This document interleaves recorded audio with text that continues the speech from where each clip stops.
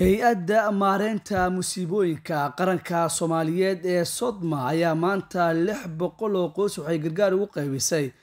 degmada shangaani ee gobolka banaadir. Qoysaska gargaarka la gaarsiiyey ayaa waxay ahaayeen danyar kuwa ka soo barakacay colaadaha agoon waxaana mucaawanada la gaarsiiyey isugu jirtay qeybaha kala duwan ee raashinka. Shan boqol oo ka mid a qoysaskan hal meel ayaa loogu qeybiyey gargaarka halka boqol kalena iyagana loogu qeybiyo goob kale. Agaasimaha waaxda gargaarka sahre cali yuusuf ayaa goobjoog ahayd qeybta mucaawinadan halkaasoo ay kula hadashay warbaahinta waxaana ay ka warbixisay gargaarka ay maanta gobolka banaadir ka qeybisay hay'adda maareynta musiibooyinka qaranka soomaaliyeed ee sodma. Qaybinay raashin maanta ay taariikhdu tahay bishii mey waxaan qaybinay laba goobood oo goobna aan ku qaybinay boqol qof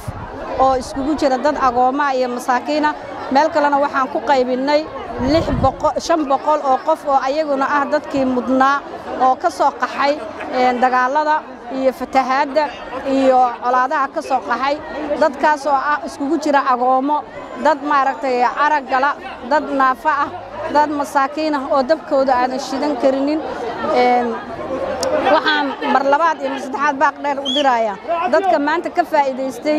tiradan raashinka ah ee hay'adda maaraynta masiibooyinku ay ugu tabarucday in ay ka faa'iidaystaan oo guryahooda geystaan suuqyada magaalada muqdishona aysan ku gadanin annaga oo ka duulayna baahidii iyo codsigii aad noo soo jeediseen inkaga jawaab celinay. Ma aha ina aad suuqi ka iibsataan oo aad wixii baahida laydinkugu talagalay idin maaragtay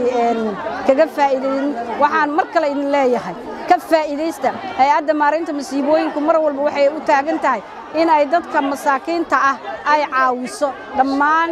gobollada dalka oo dhan meel kastoo ay joogaan dad masaakiina. Muddooyinkii la soo dhaafay ayaa hay'adda maareynta musiibooyinka qaranka. Waxay howlgallo gurmada ka waday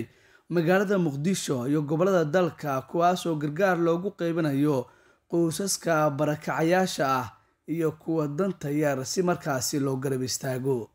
Cabdulaahi cismaan cadaani shabelle t v muqdisho